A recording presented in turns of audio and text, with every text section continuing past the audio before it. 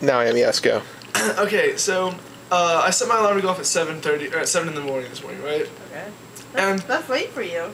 Seven in the morning? Yeah. Oh, I didn't have to go running. Okay. Um, so I set my alarm and I get up at seven, you know, like I'm supposed to, and I turn off this alarm on my watch and I turn off my phone alarm. Well, on this watch, my snooze button is also like my reset it to the next day. On my phone, my snooze button is 30 minutes snooze, not reset to the next day. Alright, So 7:30 goes off and the alarm goes off again, and I I'm I hadn't gotten out of bed yet. So I keep on doing this till about 8:30. 8:30 I finally pop out of bed, and sure enough, Muskrat is alive and kicking. so Grooming herself. grooming herself. She she was talking to Justin. Did she have a hairball? I didn't bother to look. She was wearing a tank top. I avoided making eye contact, Any contact at all? any contact at all. Might have a wardrobe malfunction. She was talking to Justin, and um, she goes, "Yeah, you know, you might have some bruises from last night because of me kicking you because you were snoring." And she goes, uh, "Between you know you snoring and Michael's alarms in the morning." I was like, "Well, what do you mean my alarms?" She goes, "Well, it went off like ten times." I was like, I look at my watch and go, "No, no, no, it's 8:30 in the morning. My alarm is set for a 30-minute snooze. It went off five times. Get over it."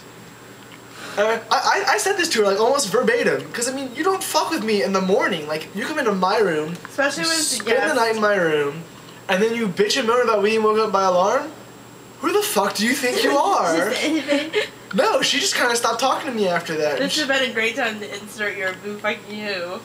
Was like, no, but um, I was waiting for her to say something else because if she was, I'd be like, okay, listen here.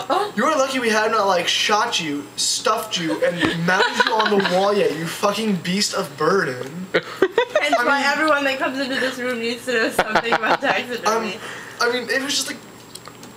I mean, I, I would. I'm, I'm gonna go into her room and spend the night with her roommate and wake up in the morning and be like, yeah, you know, you last night were keeping me up.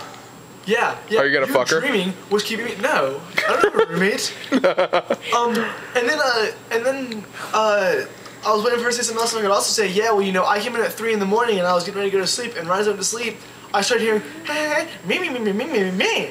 I was like, she fucking she's like a little muppet. the, the, the little one with the crazy ass eyes. I was doing the uh, like me me me me me me. I'm like.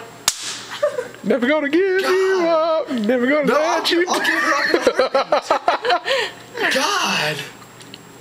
Beaker. Yeah. Me, me, me, me, She sounded and almost looked like Beaker this morning. Swear to God. She had like pinkish skin. How long does that thing record for? No, it's got like another three minutes if I want to. So if Did- Mike, you're gonna go to town, then Josh, did I tell you that Emily and I were sitting at